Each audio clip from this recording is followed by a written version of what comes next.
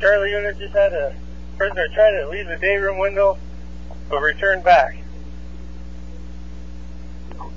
Copy, command clear.